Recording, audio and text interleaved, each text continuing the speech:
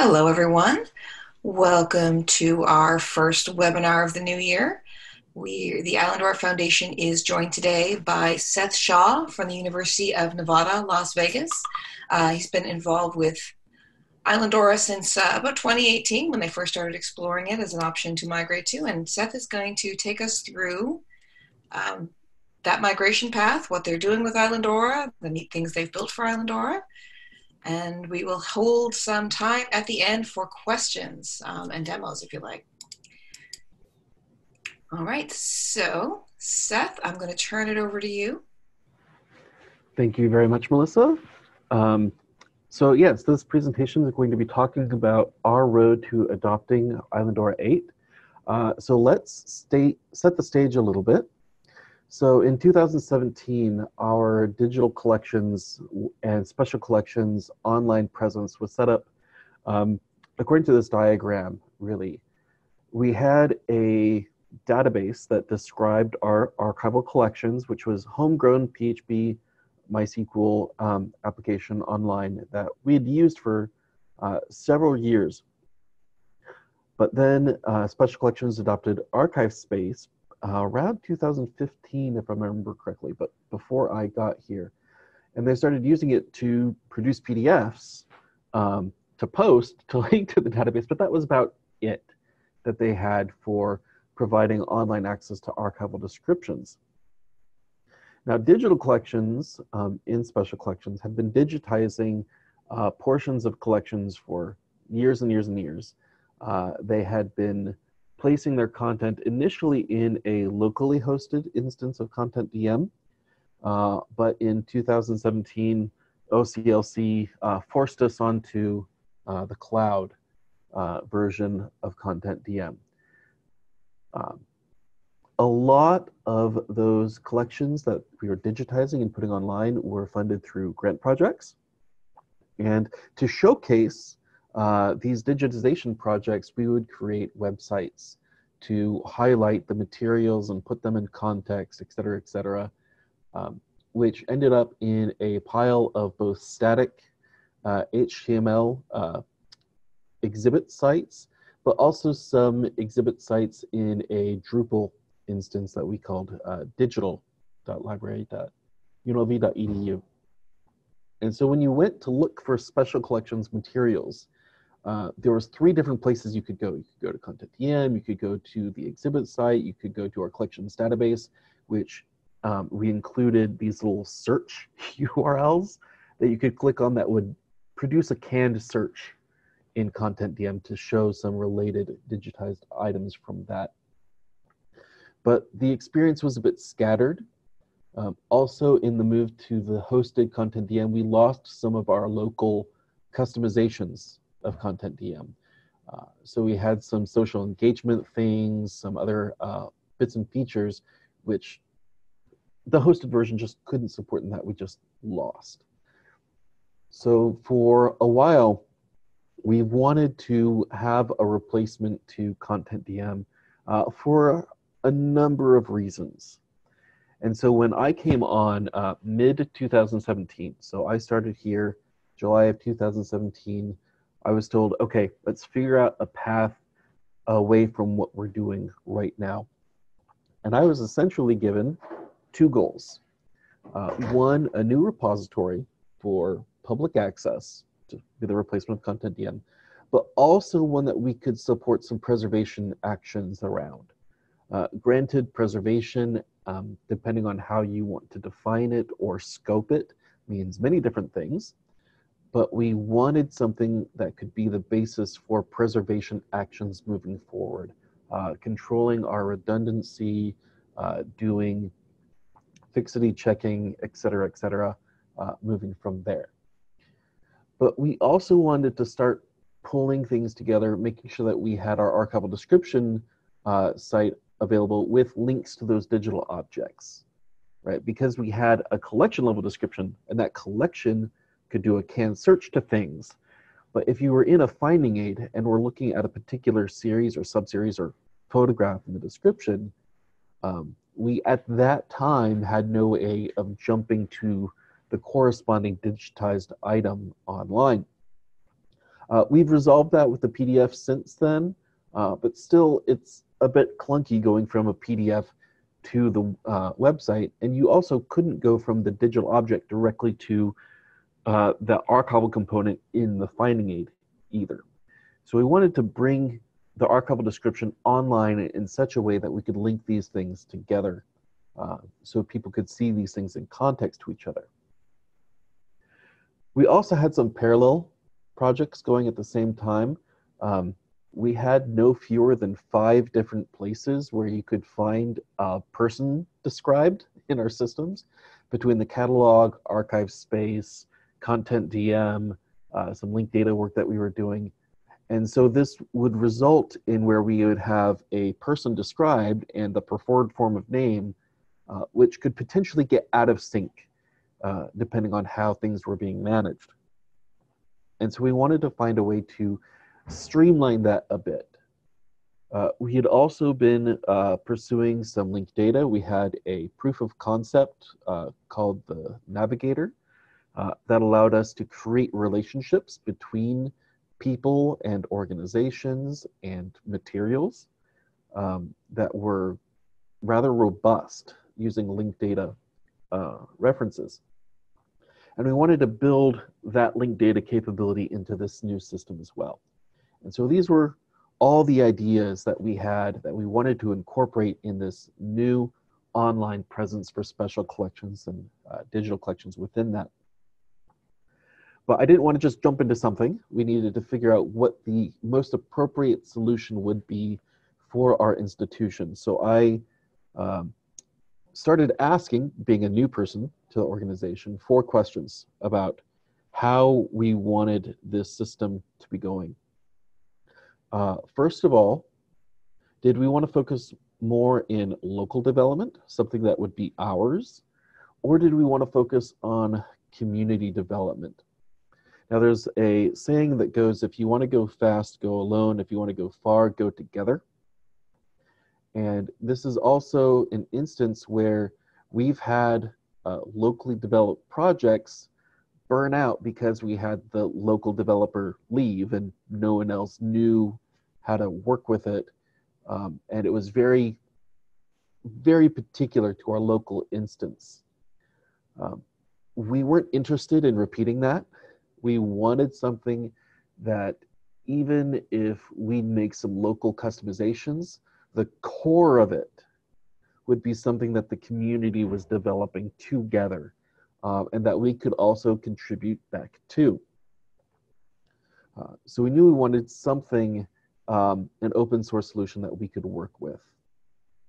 The second question is, did we want to rely on existing expertise or adopt some new ones? Um, so after we had answered that first question, we landed on we wanted to do something with Fedora, um, and the two major options were the Samvera and the Islandora um, options for providing a front end to it, because uh, we didn't want to develop our own front end to Fedora. So we had to consider what expertise did we have in house. Uh, our library is situated within the university. All our websites are Drupal right? The, the university's website is Drupal, the library's main website is Drupal, our existing uh, digital exhibits site was Drupal. Our developers in-house not only had Drupal experience, but general PHP development experience. And so going with Islandora, which focused on Drupal, made sense.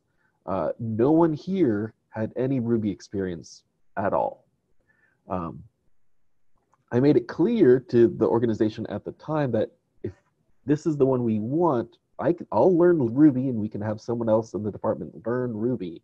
But there is going to be that curve of trying to work within that new environment.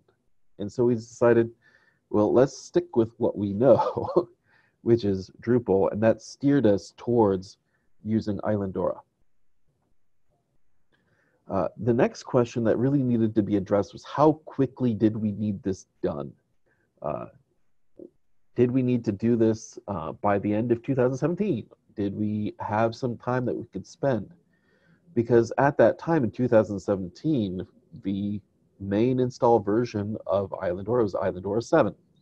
And I knew that uh, Drupal 7 and Fedora 3 were both reaching end of life. And I didn't want to jump into a new site and then have to turn around and re implement it again in whatever the successor would be uh, a year or two later. So I wasn't keen on just jumping in there. If I had the time to spend, I preferred taking that time and getting um, Islandora Claw, which is what it was called at the time, uh, what would be Islandora 8, up and running to a level uh, that we could adopt it here um, and move forward with it. And I did get the administrative buy in from that, saying, hey, let's just focus our energy on helping the community move forward and move up and get to this new uh, site. So that's what we decided to do. I started working uh, with getting the um, Islandora Claw playbook running at the end of 2017 and beginning of 2018 and helping get it up and out the door. The fourth question we had was how tightly did we want to couple our digital collections interface with our archives interface? So we could have done an Island Islandora 8 for the digital collections and uh, adopted the newly revamped ArchivesSpace public user interface um, and just create links between the two, which would have been fine. Uh, it would have worked. It's a bit more challenging to get those two to uh, the two interfaces to match perfectly, uh, depending on the different constraints you have, but it was something that we could do. Uh, on the other hand, we could see if we could bring our archival descriptions into our Islandora instance and more tightly integrate everything together. And when I presented that as an idea to the administration, they said, that sounds great. We like things being uh, integrated together. Let's get away from these silos. So this is what we planned to do. Of course, you know, plans don't always uh, necessarily work out exactly like you expected to, but this was our planned architecture at that point, where Drupal 8 would be the main site that all of our users would go to. Uh, they wouldn't have to go to three different places to find their content. Um, it would all be through this Drupal interface. This is also good for search engine optimization because Google doesn't have to get confused about which site it should be sending people to. Um, in that Drupal, you have that connection between Drupal 8 and Fedora, which is your Islandora connector right here. And then we would also be bringing in the archive space descriptions via the API. Uh, staff would still continue processing and describing collections in archive space. We're not getting rid of it. We are keeping it uh, because it's good for what it does, describing our collections. Uh, we just want to bring those descriptions into Drupal so that we could tightly integrate with our search and with our display. Um, that stated, we knew that if we're replacing, oops, go back. If we were replacing CONTENTdm, one of the things that we would lose is the CONTENTdm project client, uh, which is, for those of you who don't know, a desktop application that allows you to upload a bunch of images and then make uh, bulk metadata edits, and then uh, QC those edits, and then publish those edits to your CONTENTdm site. And we wanted something that would um, allow us to do that with our descriptions before we upload into our Drupal instance. Um, and that's in dotted lines because we knew we would have to create that. Um, and I, I, will come back to this later. Uh, we will eventually get to integrating Archivematica to bring in our Born Digital content here as well. And we are pushing uh, Preservation Masters to an Amazon Glacier, although this line ended up going from Fedora rather than from Drupal. But the point is, we did want that redundancy um, in Amazon Glacier. So how are we going to do this massive task? Uh, we broke this out into essentially three stages where stage one, 2018, was going to be stabilize Islandora 8. Get it to a point to where we could install it and run it.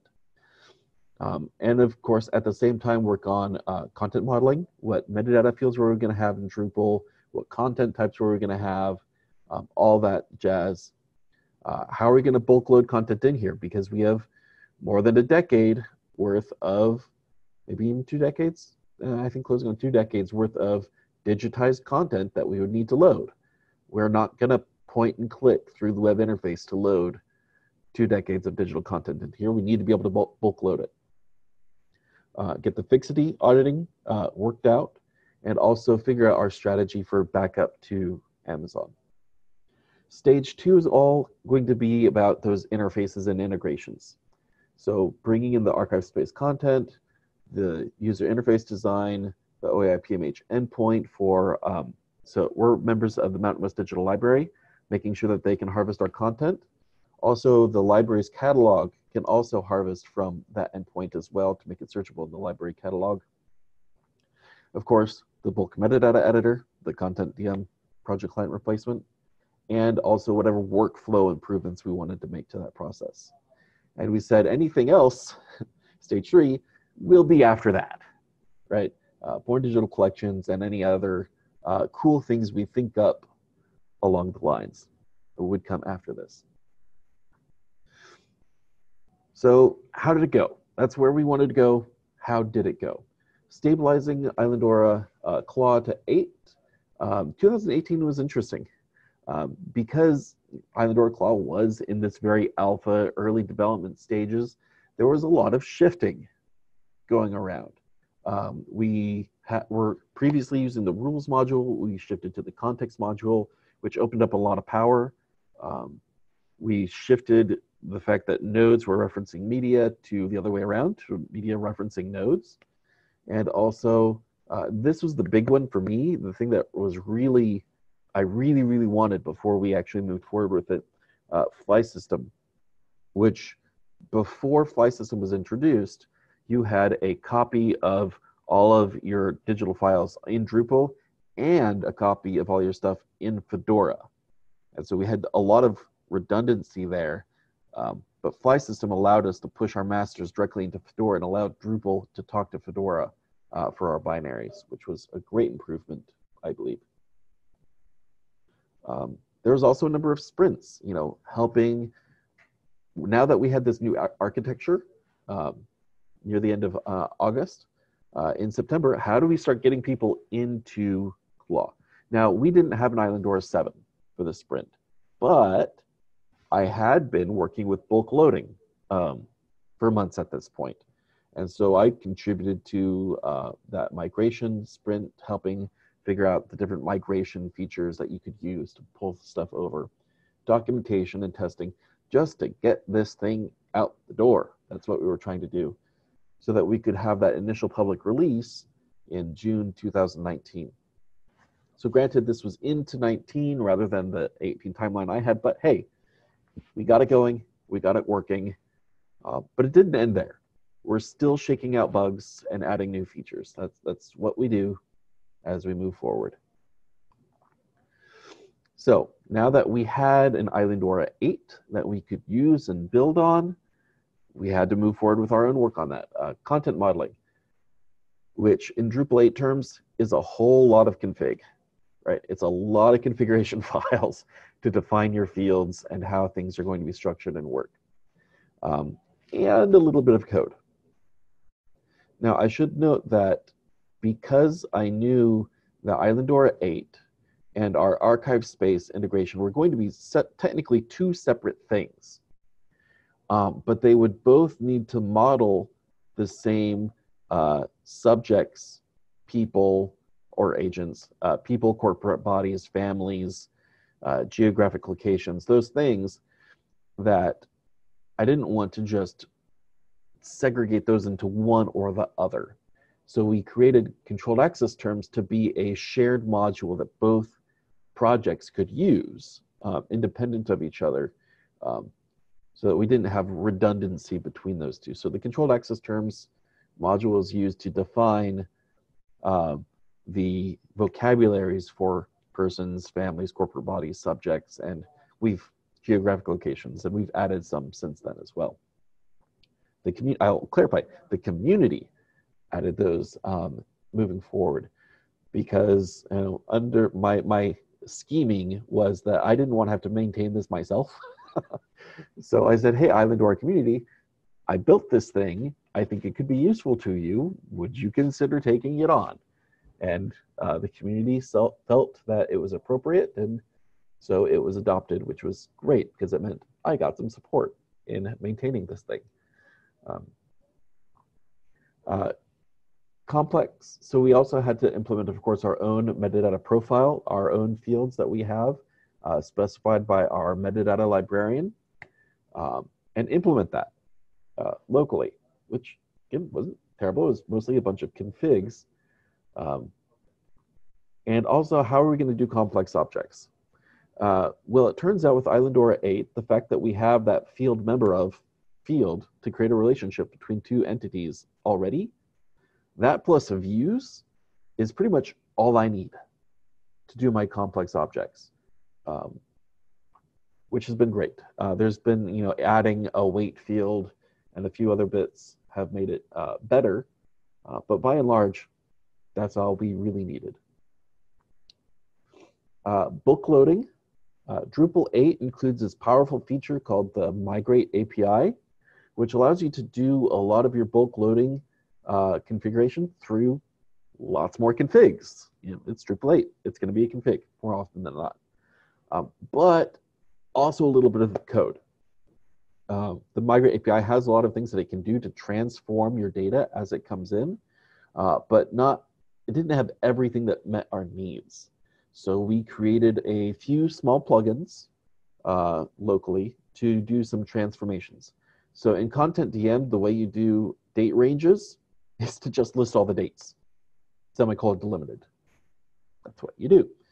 Um, but we are now using a standard called um, Extended Datetime Format, or EDTF, which is being adopted into the ISO date standard. So we needed to transform this serialized list of dates into a single date expression. So I built a plugin that says, hey, if you see this semicolon delimited string, transform it. Uh, they're fairly simple. If you want to chat with me about doing those later, I'm happy to chat about that later. Um, of course, doing this early on, being an early adopter, means I was testing things and breaking things. So I reported the issue um, as a scalability issue. Uh, through the great help of uh, Danny Lamb and Jared Whiklo, we were able to figure out the core thing that was causing the problem, and it got fixed. Yay for community development rather than just trying to do it on our own. If you do want to know more about bulk loading, uh, I did give a presentation at Islandoracon. There's the uh, slides that talk about how you can use the Migrate API for that. Again, I'm happy to chat with you later as well. So the archive space Drupal integration that we were working on. Um, keep in mind, this is nothing tied to Islandora 8. Uh, this is just archive space in Drupal.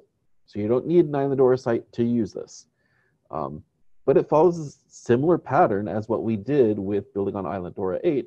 You define some content, you figure out how to do synchronization, you create some views, and maybe do some theming. Uh, and so that's all this really is, is I've defined some Drupal content models that uh, mirror the archive space fields. Um, and I set up a Drupal 8 uh, migrate API I did have to do, it wasn't just configs because there wasn't always a one-to-one exact mapping because of how archive space creates their JSON structures um, and their REST architecture.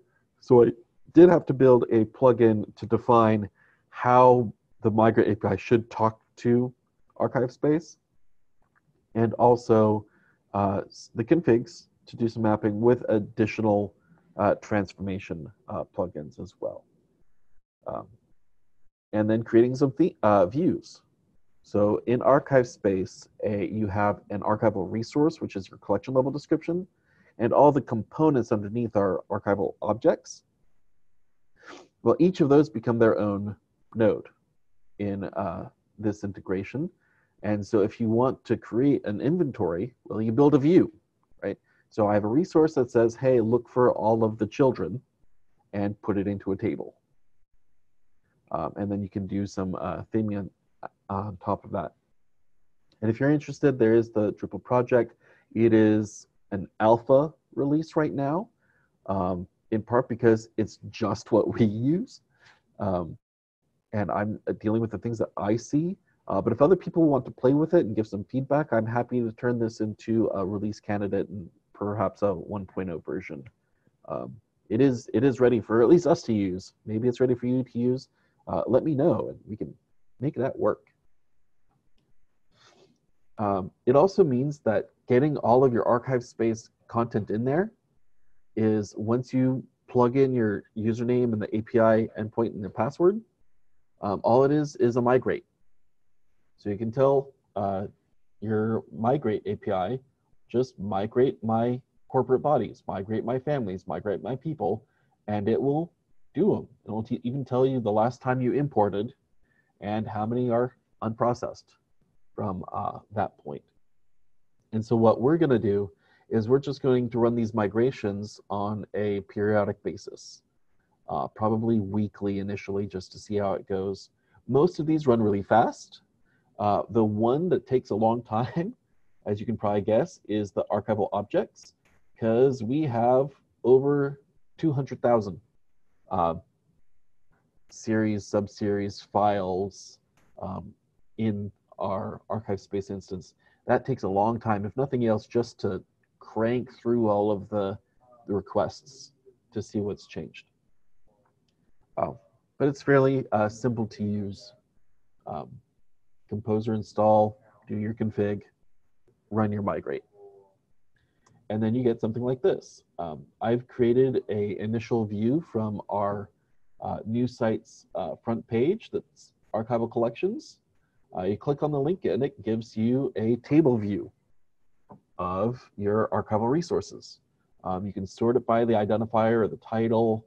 Um, dates and extent sorting don't work yet because of the peculiarities of those fields, but that is a uh, future um, feature to come. Um, it just hasn't been high enough on the priority list to get it uh, those sorts working correctly. But identifier and title, you could also put a filter on here so you could do a simple keyword search for Hughes and show all the collections that are relating to Howard Hughes, et cetera, et cetera. But if you click on one of these, um, you'll see the standard archival description. You will get breadcrumbs. So the Howard Hughes Professional Aeronautical Photographs uh, collection, the Howard Tools Company and Hughes Aircraft Company photographs, 1917 to 1997 um, series, right? And here's the description of the series and of course its own inventory, which is a view. Uh, one of the things that I did add to this view is um, my linking to my Islandora objects. Um, if, if it's available online, it's available online column. You can click on the identifier for it. Um, in this case, we're just going to click on uh, Howard Hughes, approximately 1997 to 1998, and you have the archival description of the thing. But it also has a link to the digital object, which is great in case Drupal dropped them straight on this page uh, we can click on it and move on. Um, I should note that the UI is still in development. So yes, it still looks ugly. this is not final. It is in development right now. Um, but if you click on the available online, or if you had gone back to that inventory and clicked on the digital object link, uh, here is the photograph of Howard Hughes with its date, its description, physical identifier, our uh, persistent identifier for it, we also have a download link for the master, which is something that we didn't have in CONTENTdm. Uh, if previously, if someone wanted a uh, publication-worthy image of that from our CONTENTdm, they would have to email our public services, and they'd have to clarify which image they wanted. Then public services would have to look up the digital identifier, and they go into our file server and look up the file and get it and return it to the individual right? It was this whole big process uh, to get someone a reproduction uh, quality image. Now, they can just download the TIFF straight from the page, uh, which uh, we think is a wonderful feature uh, for them to have. They also have um, the subjects, time periods, and this is a screenshot so you can't scroll down, but I can show you the full page uh, later during demo time. If you click on Howard Hughes, um, it will go to a Howard Hughes page with his preferred name, birth date, death date, relationships. So he's a member of the Hughes Aircraft Company. Um, we have whole families that we have spouses and children, and we've built out those relationships that you can navigate those relationships in the UI. And of course, we have another view to say, here's some of the stuff uh, that's associated with this person in case you landed directly on Howard Hughes uh, from your Google search. Um, again, this still needs to be cleaned up uh, for the UI. We're still working through that. So you might be wondering, why have two separate records? Uh, why have an archival object description, which is pictured on the left, and another digital collections um, image on the right? Uh, a few things. First, this is mostly due to historical past practices, uh, where, like in archive space, you have the archival object and you have a digital object record. You have them both, um, but you don't have to. You could take this archival object content type and just add like a single field right now and update a few configurations, and it all of a sudden becomes your Islandora object. Um, we are going to consider uh, moving to that model later and consolidating. Uh, we have not decided finally what we're going to do, but we're going to stick with this for now because it's more consistent with what we're doing. Um, of course, the problem is that you have two search results. So if you search Mobots on our site, you have both the archival object and you have the, uh, the digital object result, um, as noted by the facets here, which again, facets look ugly. We are fixing that. Um, but it does require you to you know filter out some duplicated results. You might be wondering how we get these things linked. Uh, currently, uh, so this is before we've even implemented uh, the DAMs for public viewing. Um, we export an EAD from archive space. We transform it into a spreadsheet using um, an XSLT. We update that spreadsheet during digitization spreadsheet is loaded, and then we bring that back into archive space using CONTENTdm's metadata exports, and we do an export of the PDF. So it's this laborious progress uh, to get things um, back and forth. And the repository, what we're able to do is we're able to, as long as we've digitized it with that reference ID, um, the import will just look it up and link it, right? Simplifying our workflows as much as possible uh, we would like to be able to just select things in Drupal that we want to digitize, have that export the spreadsheet that we want to edit, and then re-upload, which will create those links. Um, we are working on a batch metadata editor. I would have liked this to have at least had a beta by the end of December this past year, um, but priorities got shifted. Um, this has a alpha working version. It does kind of work, uh, but it could use a lot of improvements. But uh, shout out to Mark Jordan, who's been uh, doing a lot of good work with his Islandora Workbench Python tool, um, and us both trying to get this up and running and out the door. But one of the nice features about this is in your editor, um, it will auto load drop downs with fields from your archives from your Drupal site. So if you have a resource type field, it'll say, hey, I know this thing has these defined uh, values that are uh, taxonomy terms. Let me populate a drop down for you. Uh, Fixity and OAI-PMH. Uh, shout out to the community. Again, Mark Jordan, uh, Joe Corall uh, from Kent State have helped us as a community move these things forward. Um, once these were announced that people were working on them, I jumped on the bandwagon and said, hey, I want this feature too. Let me try to help. Uh, so I did provide some feedback to the Riprap to improve that one. I provided some uh, assistance with the REST OAI-PMH project as well to get that going out the door. And uh, we are happy to be adopting those and working with them locally. So are we ready to go? It is the end it is now 2000, uh, 2020. We should be ready to launch. Well, not quite. um, first of all, I, I, was hoping to use the Islandora 1.1 release, but we are just going to go with dev for now because we're just heading forward. Uh, but metadata remediation, we have like two decades worth of description. Uh, as if you were living in an apartment or a house for 20 years and decided to move to a new house and start packing up your stuff and realize you have a big mess to clean up. We had a big mess to clean up. So uh, we decided that we were going to spend that elbow grease before going live to clean up a lot of that metadata as we move forward. So we did shift our public release deadline to the end of June, uh, in part to give us more time to clean up metadata. Uh, we are also going to be doing some user experience design and testing, um, and we are working on it. It's incomplete, as you saw, but we are uh, actively working on it. In fact, one of those screenshots is now up to, out of date because I fixed it uh, from that point. And of course, the project client uh, does need more work. So it's been a quite the journey. It's been a lot of fun. I really, really, really appreciate the community. The community has been great to work with. Sometimes a bit slow. Sometimes a PR can sit around for a while and uh, without a review before it gets merged, but it eventually happens, and we move forward together, and it's been great. Um, so we are moving forward. We're almost there. Uh, our target, our new target is the end of June, and uh, feel free to chat with me about whatever you need. Um, questions that you ha, ha, questions you might have. Bit of a whirlwind, but uh, I can take some questions if anyone has any.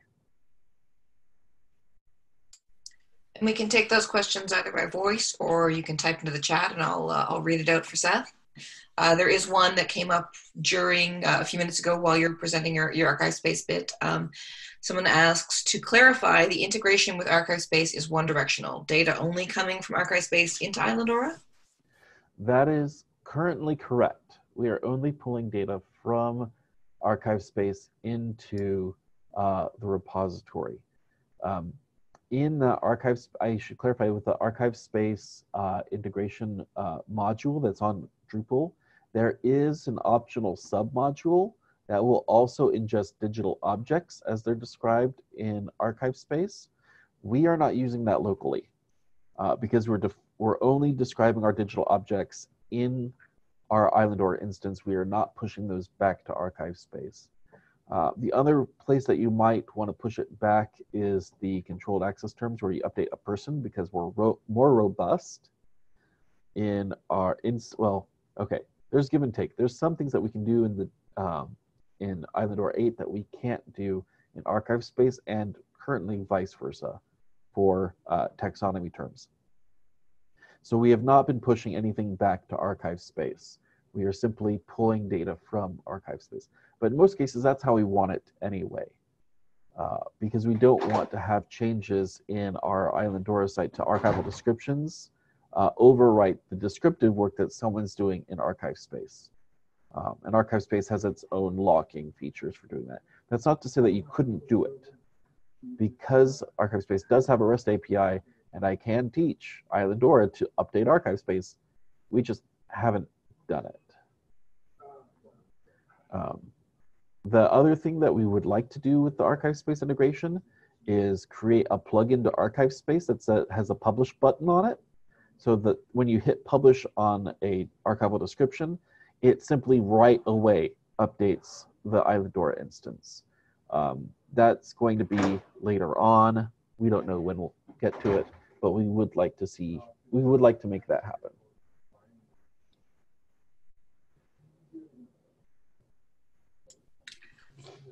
Next question is, is there a demo for us to see? Well, I can show you something if you would like. Let me pull this up in here. Uh, so one of the things to note is that we are taking our existing digital site and inserting Islandora onto it.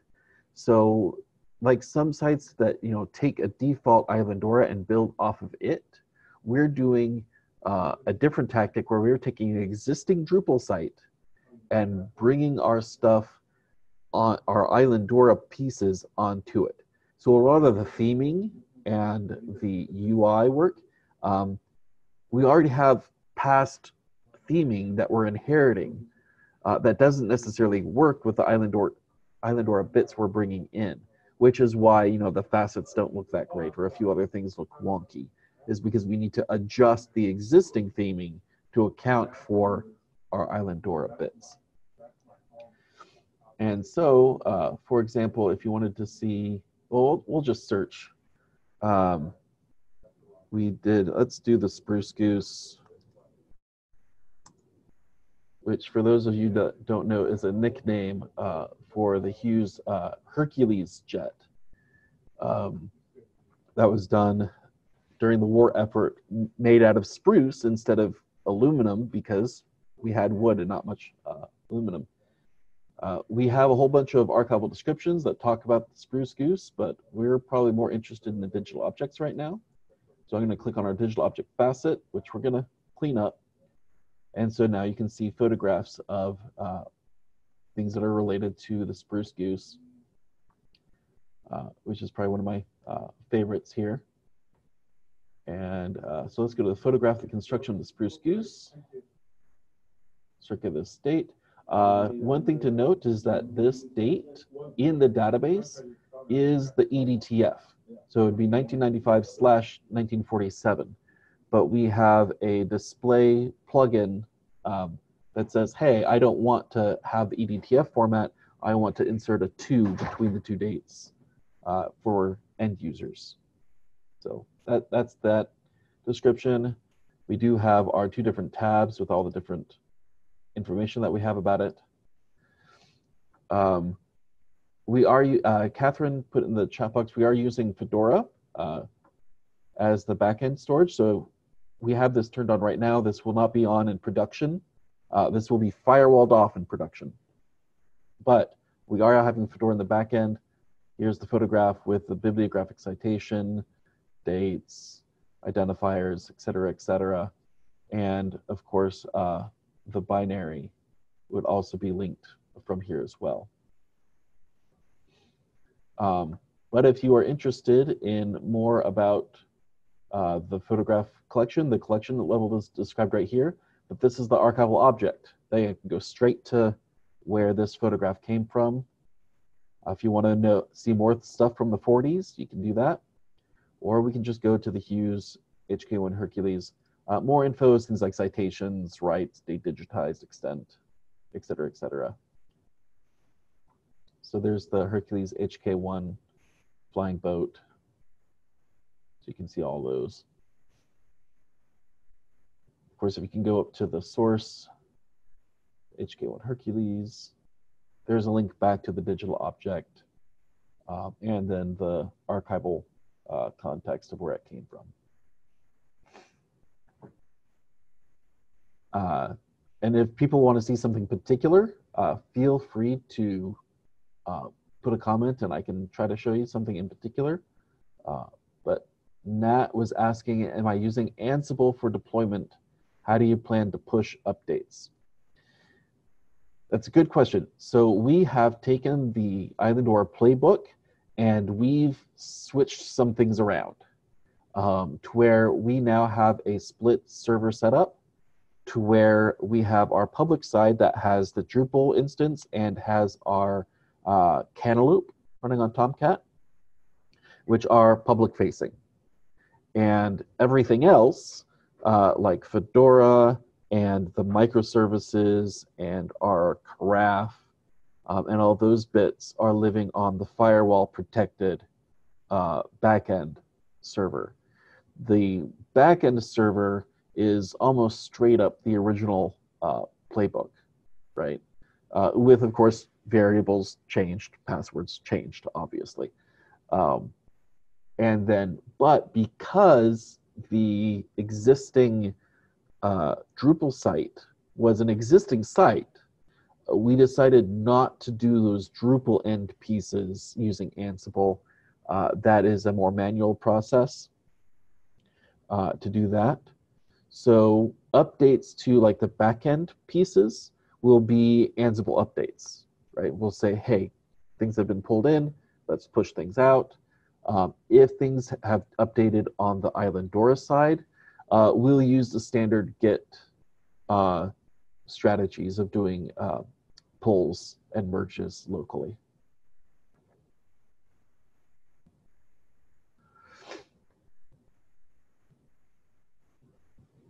Um, There's a, oh, sorry. There's a new question in chat asking how Archivematica work with Islandora will, or how will Archivematica work with Islandora to support your Born digital collections? That is a great question, and that is to be determined. That I have some ideas, but we have not committed to anything because we're simply trying to get CONTENTdm replaced first, um, and then I can start exploring what we would like to do with the Archivematica integration. The theory is right now is that our um, archival staff will use Archivematica. They will uh, submit the Born digital materials to the Archivematica. It'll go through its workflow, and we will either take the AIP that they create, that Archivematica creates, and use that as the basis for our um, migrate connection, or we might create a um, a new uh, Archivematica uh, plugin uh, to talk to it directly. We're not exactly sure, but we are going to use Archivematica for what it's good for, which is the whole uh, workflow routine. And it's at the end of that pipeline we will push things into our island Islandora instance.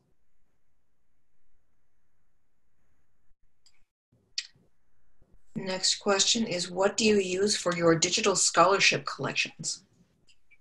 Okay, so by that, I'm assuming you mean things like uh, institutional repositories like faculty scholarship, um, electronic theses and dissertations, etc. So our IR is currently using bepress. And when we started this project, we had a conversation with them saying, hey, we're going to be doing this. Um, how do you want to integrate with this? Do you want to integrate with this? What, what should the timeline be? And the answer was, well, we are happy with bepress right now. So don't worry about us for now. That stated, we are not ruling out the possibility of importing their content later uh, should we decide that that's necessary. So that again is one of those future past phase three. We'll, we'll get our born digital stuff taken care of first.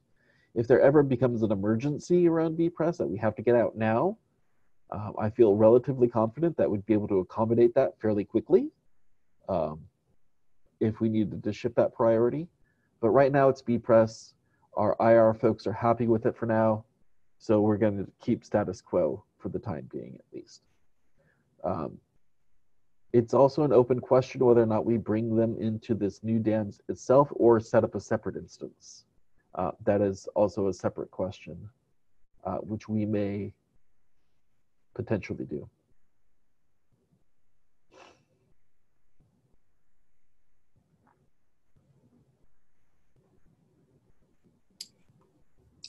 Do we have any more questions?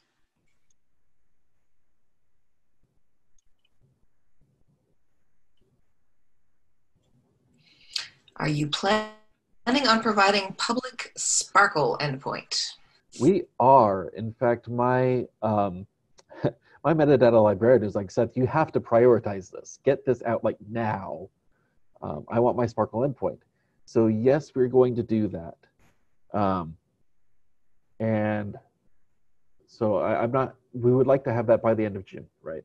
Um, the key right now is that we're not exactly sure how we are going to populate the uh, public one versus the private one on the back because we are going to have some content that is restricted in this repository that only special collections staff can see.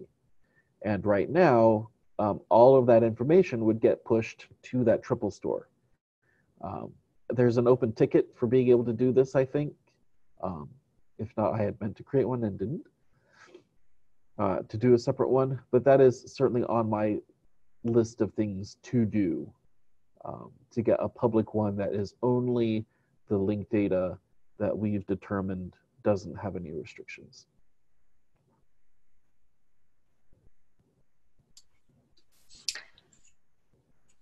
Another question is, do you have any compound or paged content that you can show us here? So on this site, I can't, and I'll also note if anyone's looking at the URL, this is our development site, not the eventual production site. Um, and this one does not have the paged content theming in place yet. Um, that has all been done locally on my personal machine. And um, that version is not in sync with the current uh, development site, generally speaking. Um, let me see actually really quick, since we have a moment, if I have anything similar uh, to it set up.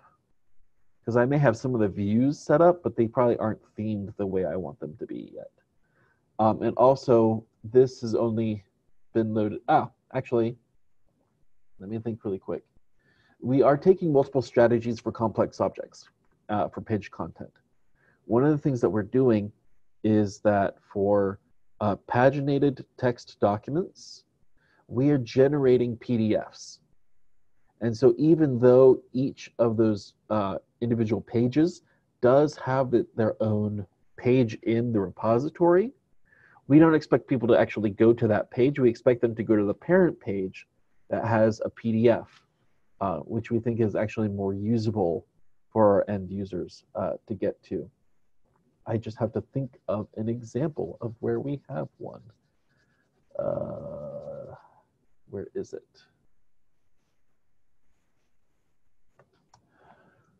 This is probably it.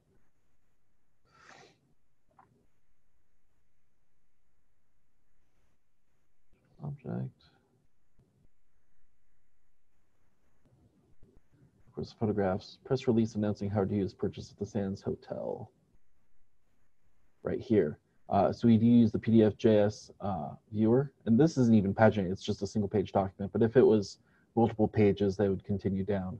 Uh, one of the reasons being is that in addition to having the OCR in the back end for search, people can download the PDF and we've also connected the OCR to the PDF rather than trying to rely on something like um, OpenSeadragon to know both the pagination and also the OCR we figured this was going to be more usable, and we already had a workflow for it uh, to build these before upload. So we're going to stick with this for a lot of our content, uh, but things like oral histories that are complex objects with both audio and a transcript. Uh, we're investigating how best to theme that as well. We also do have objects that are multiple images. Those are going to use a view, uh, but I don't think we have any in this collection that we've uploaded to the development site. Uh, so I, I should have thought of that. Sorry, Derek, for not planning that far ahead uh, for you. Uh, but what we're essentially planning is having the main image display up here and then a gallery of thumbnails underneath uh, that you can ho hover over and they can uh, repopulate over but that's still subject to further discussion with our migration team and the UI design process. We have, I think, two options that we're still debating between exactly how we want that to display. But we are using different methods depending on the content and what makes most sense in that instance. For paged text documents, right now we think PDF is probably going to be the best option for that. And then for photographs that have multiple components are probably going to be the uh, uh, a gallery of thumbnails underneath the master image, the first image.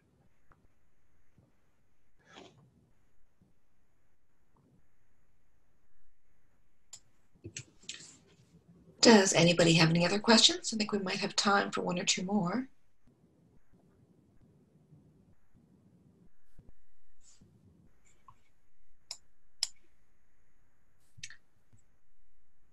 Right. Well, uh, we have been recording this session, and I will be making the recording available on the Islandora YouTube channel as soon as I get everything processed. I Hello. will send out. Oh. Hi, one more question from Drexel. Sorry. Um, how long did it take for the uh, migration, the whole process? Okay, So, great question. As I mentioned, we finally decided on our strategy at the very end of 2017. So I started work in earnest, know, Christmas essentially of 2017. So essentially, the beginning of 2018 to this point. We were initially planning on the two years. We're doing two and a half years. That stated, we did a whole lot of work. A whole lot of that was getting Islandora 8 to where it is right now. So if we were going to start brand new from right now, we could probably actually do this by our same deadline in, mm-hmm. um, in a few months. Uh, but again, a lot of that is going to be med- uh, remediation of our metadata, right? Mm-hmm. Um, mm-hmm. Technically speaking, this does not take long to implement.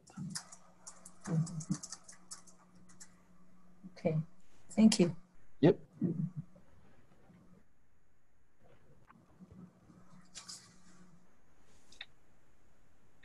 Uh, pause again in case we have one more question before we get to the end.